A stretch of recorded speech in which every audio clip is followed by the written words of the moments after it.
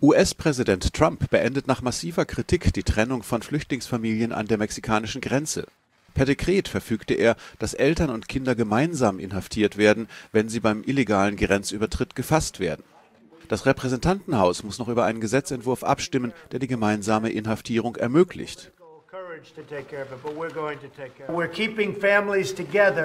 Wir halten die Familien zusammen, das wird das Problem lösen.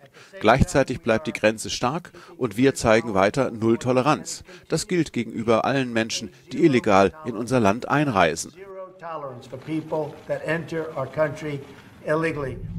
Rund 2300 Kinder wurden bisher von den Eltern getrennt. Nachdem Bilder von Kindern in Maschendrahtkäfigen gezeigt wurden, distanzierten sich auch Teile der Republikanischen Partei. Es hagelte Kritik. Der Gegenwind zeigt Wirkung, die harte Grenzpolitik allerdings auch. Migranten sind verunsichert, ob sie den Grenzübertritt wagen sollen. Allerdings schafft diese Kehrtwende Trumps ein neues, zumindest juristisches Problem. Nach geltendem Recht dürfen Kinder nicht mit ihren Familien in Gefängnissen festgehalten werden